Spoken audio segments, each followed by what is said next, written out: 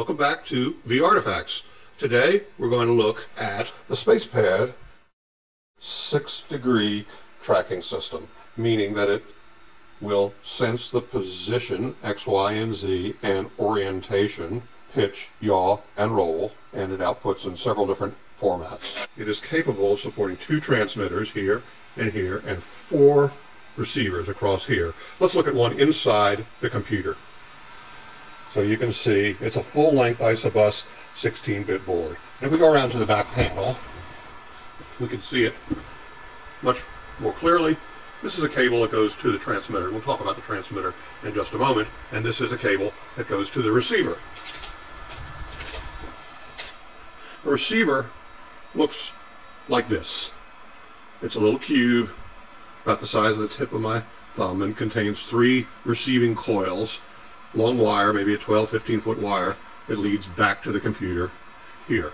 Let's look at what a transmitter is. We have this cable that comes out of our computer here, and this is a typical transmitter. It's actually a floorboard, and you can see that the cable lands right here.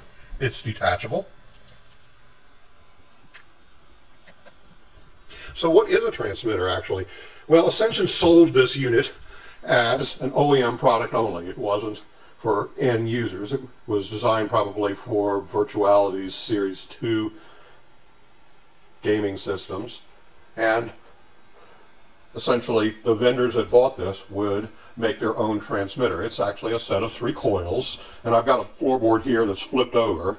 And so maybe you can see a little bit better. There are three loops of, it's just speaker wire actually. And it goes to a little terminator board. It's not very big. You know, it's a couple inches by a couple inches. And you can see that the wires are here. And then there are just three loops of wire. It's actually quite simple. Take you around one loop. And if we back up, you can see all three loops. And in fact, we name them. That's your X coil, your Y coil, and your Z coil. And essentially each side of these parallelograms is about 19 inches. Doesn't have to be very exact. Um, the placement of the wire does not have to be overly exact. You can see I've got these tacked down with staples and it works quite well and quite accurately. The range of this device depends on the size of the coil. And with this setup, the whole board is about 30 some odd inches in diameter with these 19 inch parallelograms.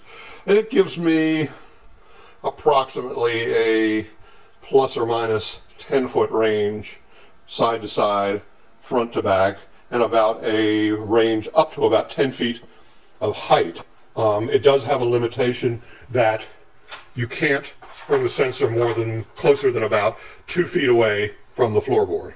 And so if I take a sensor here, so sort of about this height is, is about the end of it. So very, if you were putting it on a helmet, very, very short people might have a problem. Um, typically, it's going to be up much higher. Let's look at how this guy scans. I've got a little diagnostic program here, and you can see position. Here I got it centered in X, forward and backward in Y, up higher in Z, down lower in Z, and at some point there, I, I've got it down close to the floorboard, and you can see that that's where it gives out the ghost. As I pull it away from the floorboard, you can see that it resumes operation. These are what's called Euler angles. All these numbers are signed 16-bit numbers, so essentially 360 degrees. Think of it more as plus or minus 180 degrees, where 180 is 32,767 and minus 180 is negative 32,768. Um, to complement math. Um, so anyway, you can see I'm rotating so I can get my um, left to right movement. My elevation is the up down and you can see that that spins and my pitch my roll, I'm sorry, is the third number, which is I can spin the, the unit on its own axis.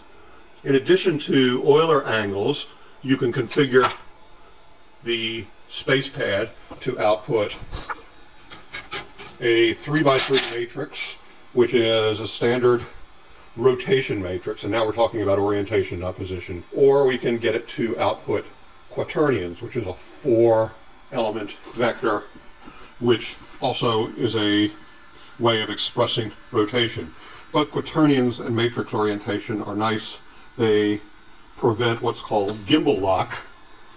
Gimbal lock is essentially when you have your sensor or receiver pointed straight up on the z-axis. At that point, with Euler angles, it can't then detect pitch and elevation. Um, and this is actually not a flaw with the tracker system. This is a flaw in Euler angle representation. And you gotta live with that if that's your choice. A lot of people think naturally in terms of pitch, yaw, and roll. SpacePad comes with um, a nice programming and hardware manual. tells you how to set it up. It's a port mapped device. It uses four 16-bit ports on the ISA bus. Default address is 304 hex. Um, generally, you'll run it either in polled operation. Uh, it also supports interrupt driven operation, and all you do is you send it uh, one or two word commands and receive back between one and about a dozen words of data.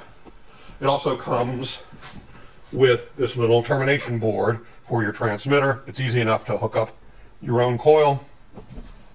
If you don't want a 19 inch coil, you want to make it a whole lot bigger, um, you need to talk to Ascension because a few of the components on this little board need to be changed um, to accommodate a much bigger transmitter board. Well, I wanted to show you quickly what it takes to program the Ascension SpacePad. It's actually quite straightforward. So let's take a quick look.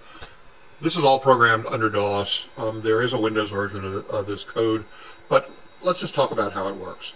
What you first do is just define the port addresses that the SpacePad uses. There's a base address at hex 304. The, where you fetch data from is at the base address, and then there's a status address. Essentially, it's the handshaking that tells you that data is ready at base address plus two. These are word addresses. Um, for the purposes of simplicity, I've defined a timeout, which just loops the program waiting for something to be ready. So now, if we look at what does it take to, to get data from the SpacePad, okay, this is going to be a little function that returns a short integer, a 16-bit word.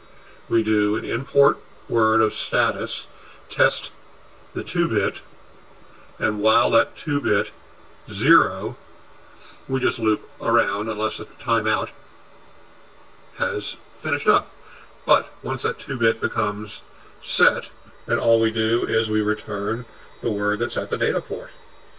So let's look now at what it takes to send data out from the computer to the SpacePad. It's actually quite simple. It's almost the reverse of this. Again, we have a simple function that passes in a word of data, 16 bits of data, set up a timeout, and we loop on the status port, check the low bit, the one bit, until it turns to a 1. And once it's turned to a 1, we just simply put the data out to the port. That's about as simple as it gets. So finally, let's look at what it takes to actually get a real tracker value, um, which would be X, Y, and Z, azimuth, elevation, and roll. And that's actually quite simple. We got a little function here. We uh, First parameter is a receiver number, which is either 0 or 1, because this program only handles two receivers. Um, it always goes to the first transmitter. And so we first send a word of data, which is a request for a point, and it's actually the opcode is in the low byte, which is 4.2, and the tracker receiver selector is in the high byte, which is either F1 for the first receiver or F2 for the second receiver. And then we get six words of data, X, Y, Z, azimuth, elevation, and roll. And that is absolutely it. These are signed 16-bit values covering the range of the tracker in X, Y, and Z, and plus or minus 180 degrees in azimuth, elevation, and roll. Well, thanks. We'll see you next time.